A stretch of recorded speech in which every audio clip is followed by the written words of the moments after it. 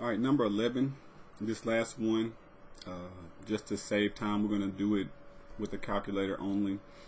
Um, it'll be quite a process doing it by hand. But the more you do it, you'll get faster.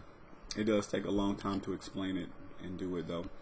So we're going to do it by calculator. So it says um, in the solution, we're going to write our answer in format of W, X, Y, Z. So we have four variables in each equation and then we have a number. So let me go ahead and write down the matrix. So I need to get my screen up so you can kind of see what's going on. Uh, shrink that down. Okay, so the first row we have 4W all right, we don't have any x's. Okay, so I'm going to do plus 0x. So you know you need to know you need to put a 0 for a placeholder for x. 0x minus 6y.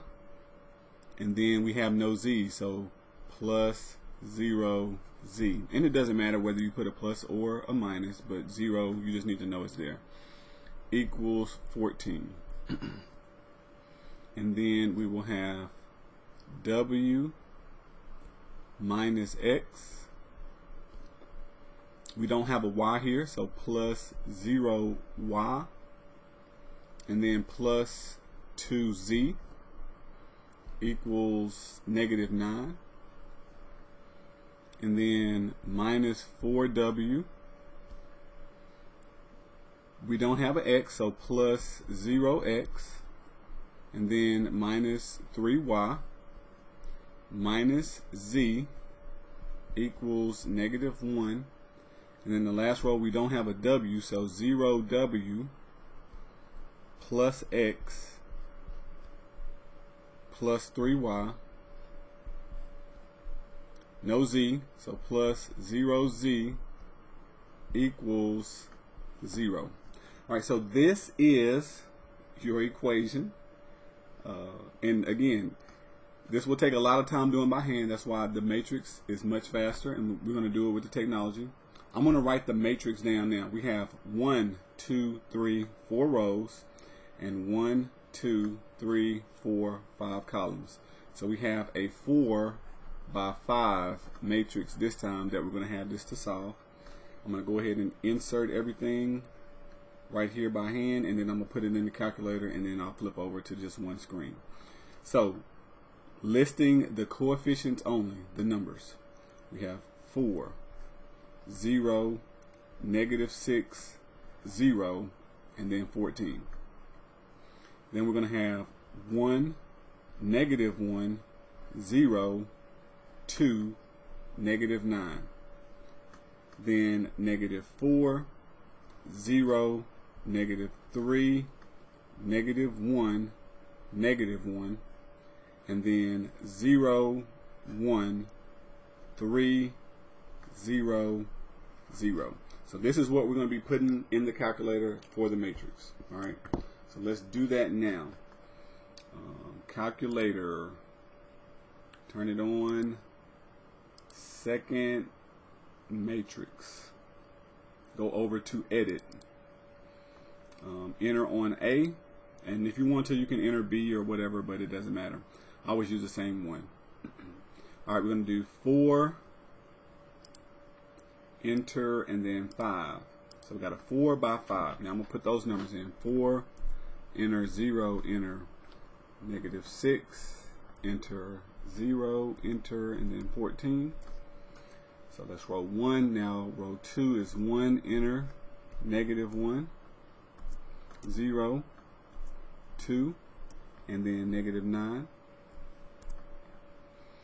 um, negative 4, 0, negative 3, and then negative 1. Okay, I hit minus and I'm not in the screen anymore. Let me go back. Second matrix. Didn't even notice. I'm just typing numbers in. So we got 4 by 5. Good. So the first row I think we got, okay, first row is good. All right, so the second row was 1, negative 1, 0, 2, negative 9. Okay, that was good. And then the next row, it should have been negative 4. I think I hit the minus and it took me out of it. Negative 4, 0, negative 3, negative 1, and then ne negative 1 again. Alright, and then the fourth row, 0, just hit enter. Uh, 1, 3, 0, and 0. Alright, verify everything is good. I think so. Second quit. Second matrix. Arrow over to math. Arrow up to RREF for reduced row echelon form. Enter. And then second matrix once more. And then just hit enter on A and enter to solve. Alright, so notice we have a 1 down the diagonal everywhere. So that means we're going to get one solution. That means X, no, not X, W is 2, X is 3, Y, where this 1 is, is negative 1, and um, Z, where this 1 is, is negative 4. So this is our solution. So we have one solution, and we're going to insert our W, X, Y, and Z value. Okay, so in order, 2, 3, negative 1, negative 4. 2, 3, negative 1, negative 4.